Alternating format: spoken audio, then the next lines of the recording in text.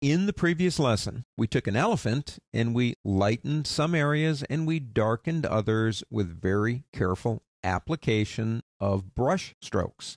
Now we're going to do brush strokes in this too, but this image, which incidentally happens to be in your working folder as 429 underscore 2988141.jpg from the happy people at photospin.com. It's got a little bit more saturation in those mid-tone colors than I need for the device I'm going out to. It's blowing out my color range. I need to soften those areas up, not lighten them. I need to remove some of the color, desaturate. Now that takes us to, of course, our sponge tool right here. Now, as with all destructive editing, I would recommend you do this with a layer, or a copy, I should say.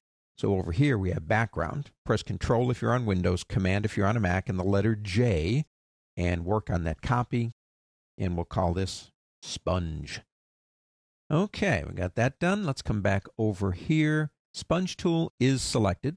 We are on the desaturate mode, but that's way too much flow. And don't forget something about flow. Flow is aggressive. It keeps working as you move. The more you move, the more it does. So there's a little bit more technique here in watching how you move your brush around the image.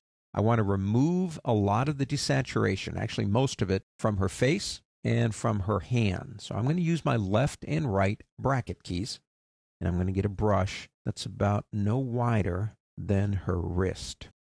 About like that. Now for flow, way too much. Let's take that down to about somewhere between 15 and 20%. Let's do 15%. Now I'm using a tablet, so I do have these options on. I don't want to influence vibrance. I just want saturation. So if I come over here and I begin moving, now remember, the more you move over an area, the more it desaturates, so you have to be careful. And I'm going to get right about here, and I'm just going to start moving around the image. And again, I'm concentrating on her face and her hand right there. Now, anytime you want to check it out, all you got to do is come over here and click. And as you can see, I've removed very subtly some of that saturation on her face so it won't blow out my color range on my output device. Now, if you want to add, you do the opposite. For example, maybe you want to brighten up her eyes a little bit. What we could do is switch over our sponge tool right here to saturate. And I'm going to keep the flow at about 15%, but I need a smaller brush, obviously and maybe just get in here.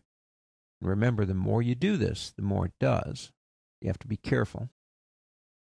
And just a little bit more in here. Kind of brighten those eyes up just a little. And anytime you want to check it out, just turn that on and off before you say, I love this, and commit yourself by putting these two images together. If it's a print, make sure you try some tests, see if you like it. Things sometimes look a whole lot different on a piece of paper than they do here on your monitor, no matter how calibrated it is. Are there other ways in Photoshop to do what we're doing? The answer to that is an obvious, resounding yes. Then why are we doing these things this way? Because this is one of the few ways that we can do things like lighten and darken, dodge and burn, or sponging an area, saturate, desaturate in a very precise, using a paintbrush way.